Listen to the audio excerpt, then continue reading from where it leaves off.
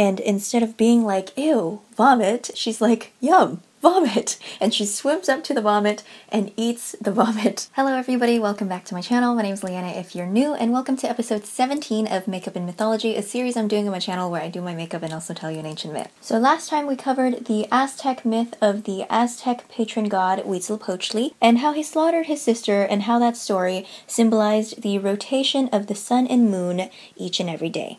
And I also got to talk a little bit about the Aztecs themselves, who were terrifying, but also really interesting to learn about. This week I bring to you the second ever Chinese myth. The first one being a couple episodes ago about the lunar matchmaker god, and I posted that around Valentine's Day and also Lunar New Year, so it was kind of like a double whammy. I'm hyped for today's episode because I grew up watching the 1992 adaptation of this specific myth. The Legend of Madame Whitesnake. And I seriously loved that drama with all my heart. Angie Chiu, who played the main character, was literally my standard of beauty growing up.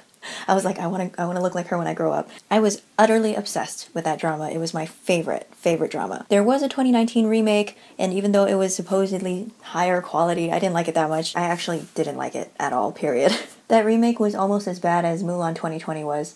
Um, Maybe that's being a little harsh. I think there's also a movie adaptation of this myth uh, with Jet Li in it, but I don't think that was was that good either. Most of you watching this probably have no idea what I'm talking about, so let's just get started. Let's get you acquainted with this myth, okay? Once upon a time, an immortal disguised himself as a Tang Yuan vendor at the Broken Bridge near the West Lake. And Tang Yuan is a Chinese dessert that is a ball of rice flour, and it's filled with sesame paste or sweet beans or something like that, and it can also be unfilled, but the unfilled ones are low key nasty. Take my word for it. But essentially, it's just a Chinese delicacy usually eaten around New Year's. If I'm not mistaken, that is. I did have some Lunar New Year this year, so that's what I'm assuming. So, anyway, this boy called Xu Xian buys some Tang Yuan from this vendor without knowing that he's an immortal and it turns out that the Tang Yuan are actually immortality pills. As for what this immortal man is doing, just randomly selling immortality pills to unsuspecting humans,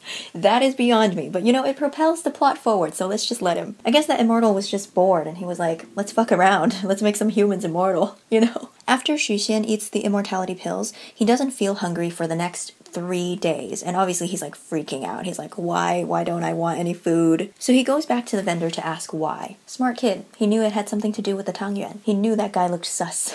And luckily, the immortal is still there at the bridge, and Xu Xian's like, hey man, I haven't eaten in like three days, you know, but I don't like need to. I'm like really concerned.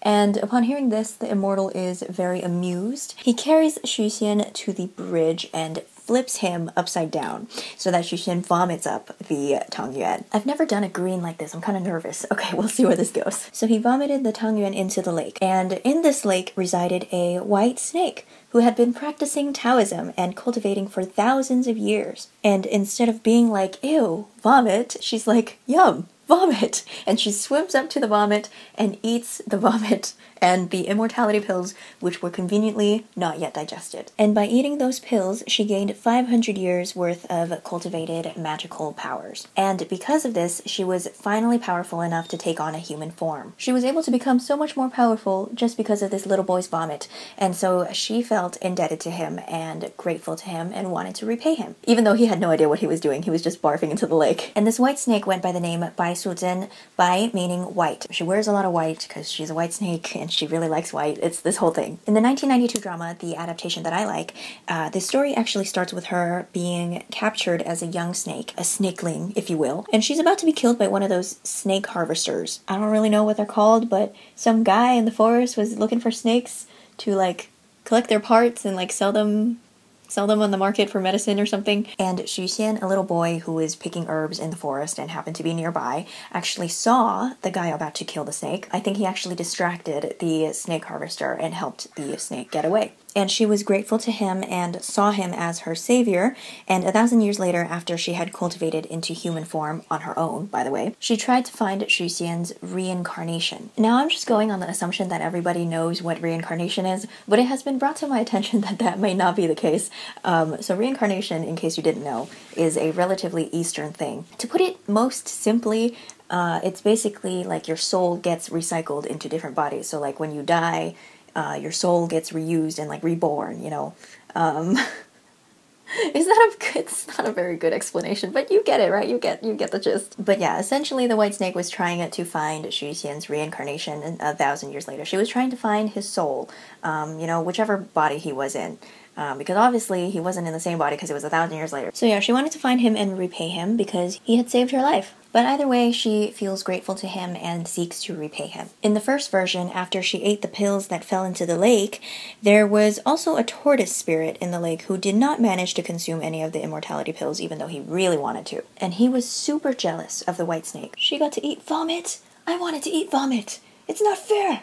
It's not fair! And you'll see why this is significant in just a second. We'll put a pin in this evil tortoise. So one day, as the white snake is just strolling, walking about in the town, you know, being being human, being pretty, wearing white, you know, as one does, she sees a beggar on the broken bridge who has caught a green snake and wants to sell its gall. I'm guessing they used snake snake gall galls for medicine or something like that. Point is, it was worth a pretty penny. And the white snake is just like, oh fuck, that's one of my own. I gotta, I gotta go rescue that green snake. So she buys the green snake from the beggar. And if you're wondering how she got the money to do so, uh, you must remember that she has magical powers and she can just magic, magic money if she wants to. Isn't she awesome? I love her. And so she saves the green snake's life. So the green snake's name is Xiaoqing, which means little green, literally little green, which is super creative. I know it's like really cute too, huh? And the green snake is extremely grateful to the white snake for saving her life. And she swears to the white snake that she will be her loyal companion,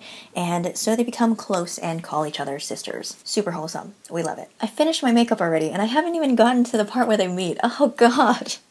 I need to time this better. Many years later, the white and green snakes are in their human forms and strolling across the bridge, and they meet Xu Xian. And upon seeing him, Su Zhen realizes that he is her savior from many years ago. It starts raining, and he gives her his umbrella, and they fall in love and get married, and they open a medicine shop together. And remember how I said she had magical powers? Well, she uses them for good. She uses them to heal people and make magic miracle medicine, and people start seeing her as a goddess on earth and their medicine shop is very, very popular. Xu Xian is like, OMG, how do you do it, my love? And she's like, it's a secret. Don't worry about it. And Xu Xian is like, okay, cool, you know, not sus, not sus at all.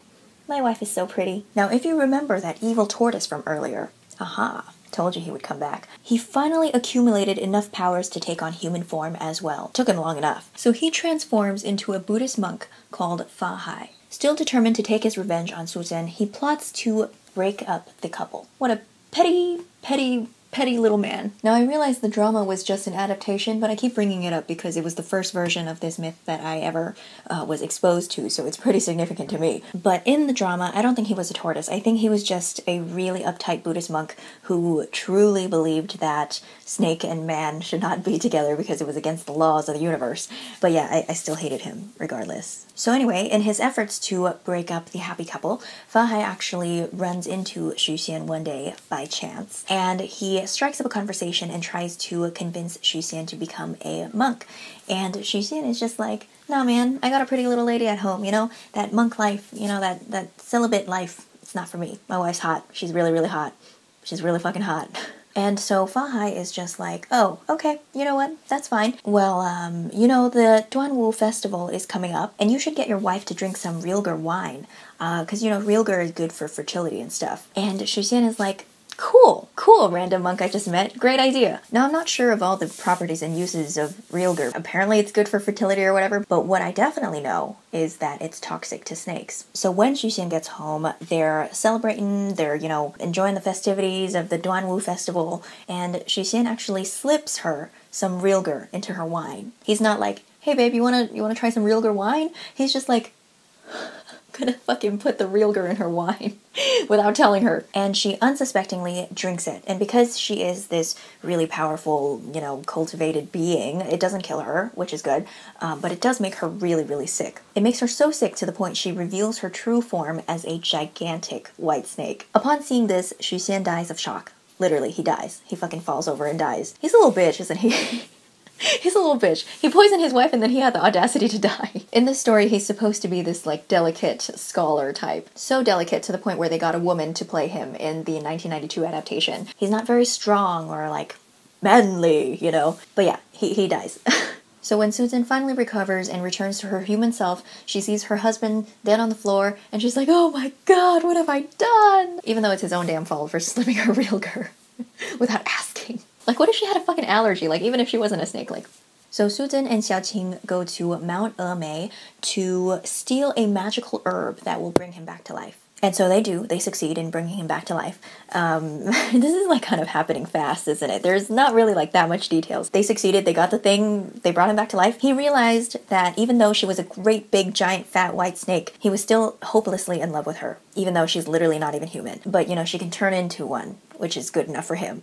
and she was really pretty as a human too. So he decides he's okay with the whole snake thing, and you know, they continue living their lives, and all is well. And upon seeing this, Fahai is just like, what the fuck? And he tries to come between the lovers again by capturing Xu Xian and imprisoning him at the Jinshan Temple, all for the excuse that humans and snakes shouldn't be together and that it's against the laws of nature, even though we know, we know that he's just mad that he didn't get to eat the vomit, so now he's taking it out on them. So Su Zhen and Xiaoqing show up at the temple and try to fight Fa Hai uh, to rescue Xu Xian. During the battle, Su Zhen actually floods the temple and kills a bunch of people in the process, which was not in the drama. Um, I didn't know she was a murderess. And even after flooding the temple, she still wasn't strong enough to defeat Fa Hai, and this was because she was pregnant. So yeah, because she was pregnant, she was like not 100% and she was like not strong enough to rescue her husband. So that sucks. After some time, Xu Xian actually manages to escape the temple and for a brief period of time the couple is reunited and Su Zhen gets to give birth to their son. But Fa Hai tracks them down soon after and because she just gave birth, she's not in any position to fight him. Fa Hai's a fucking coward. So they fought and she lost and Fa Hai actually managed to trap her in the Leifeng Pagoda where she had to remain for several years. And when Su Zhen gets captured, Xiaoqing flees and vows vengeance. So Xiaoqing is now in hiding and she's like cultivating or whatever. Twenty years later, Xu Xian and Su Zhen's son earns the position of top scholar in the imperial exam and returns home to visit his dad. And at this point, Xiaoqing, who had been cultivating her powers for the past 20 years, went to find Fa Hai and fought him and defeated him. When she said, I am your companion for life, she meant it. She spent 20 years cultivating. I'm a hardcore Xiaoqing stan. Today's eye look is actually dedicated to her because once again her name means little green and she wears green and like green's her color. It's a whole thing. So anyway, Su Zhen is finally freed and reunited with her family and Fa Hai runs away into the stomach of a crab. And it is said that a crab's internal fat is orange because it resembles the color of Fa Hai's kasaya, his Buddhist robe. And yeah, that's it. That's the story. It's a classic for sure. And I actually wasn't familiar with this original version where Fa Hai was an evil tortoise and he ended up inside of a crab. It's definitely way more satisfying when the bad guy gets served at the end. I don't think his ending was nearly as bitter in the 1992 drama. So yeah, that's pretty much it for today. I'm super happy to have gotten a chance to share with you this story that I grew up with, and I hope you enjoyed listening to it as much as I enjoyed telling it. Thank you so much for watching, and I'll see you in the next one. Bye!